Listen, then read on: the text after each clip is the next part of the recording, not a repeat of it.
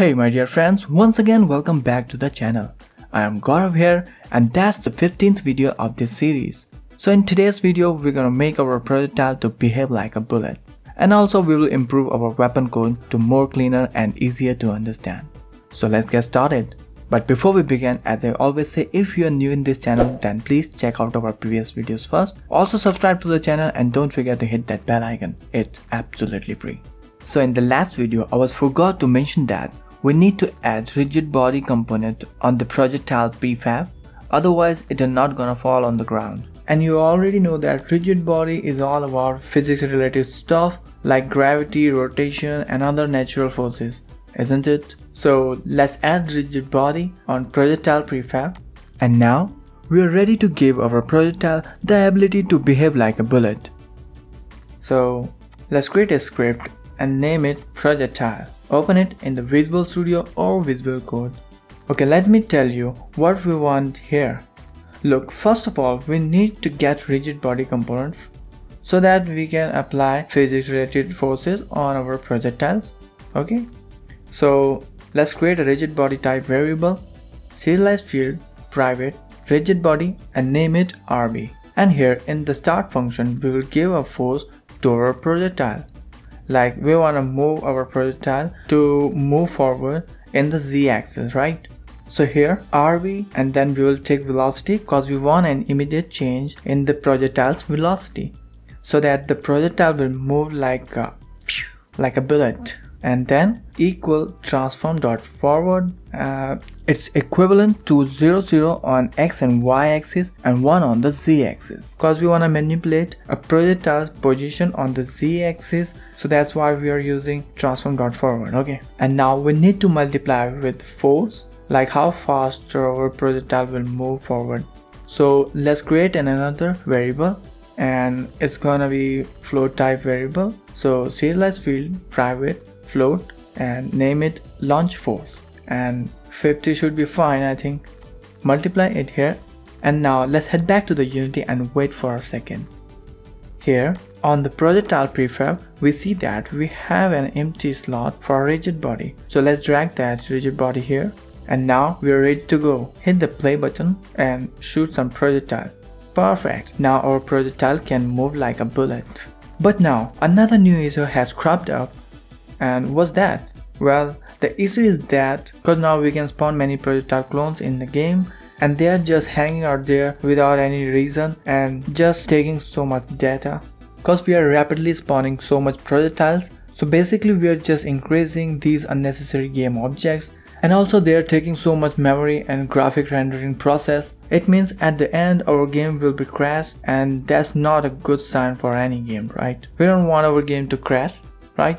So how to deal that situation? Well actually it's quite easy. All we have to do is delete these projectiles in certain amount of time after they spawn, right? So let's do that. In the update, we will use destroy function in order to delete these projectiles. Actually, we use destroy function whenever we want to delete any object from the scene. And look at that, it takes two parameters. First one is the object which we want to delete and the second one is for time. And now here we will give that game object which we want to delete. So here we will pass game object.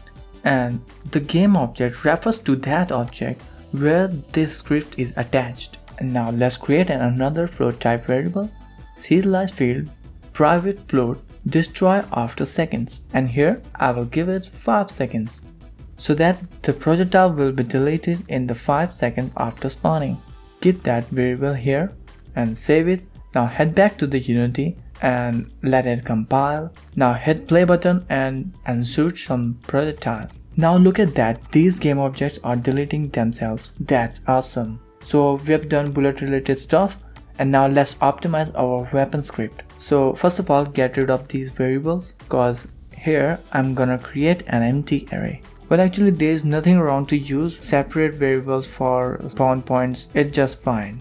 But the problem appears if we want many same kind of variables like 5 or 10 spawn points or maybe more then that's gonna be very tedious work isn't it? So that's why I'm creating an empty array. And also creating an empty array is very easy. All we just need to add square brackets. Let me show you how. serialize field, private, transform. And now here we will add square brackets and then variable name projectile spawn point. That's how we create an empty array. And now in the update function, get rid of these lines too, we don't need them anymore. Now here we will create for each loop, for each transform spawn points in what? In what? In that array, in that empty array which is projectile spawn point. So as you see that we just created that local variable. It means we want to access spawn points which will be in the array I know arrays can be a little complicated for beginners, but don't worry, it's just normal. Soon you will be comfortable with an arrays. So now here we will instantiate our projectiles, instantiate projectile prefab, and then spawn point dot position the this one, and then the orientation which is transform dot rotation, and that's it from the script side. Now head back to the Unity and here you see that on the weapon script we have an empty list. So now here you're thinking that how we will give spawn points to that empty list. It's also very easy. You just need to drag these spawn points here on the list. Look, let me show you. Drag these spawn points one by one here, right on the name or or just lock that tab.